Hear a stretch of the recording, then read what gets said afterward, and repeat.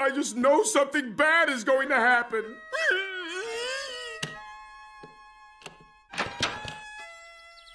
Huh?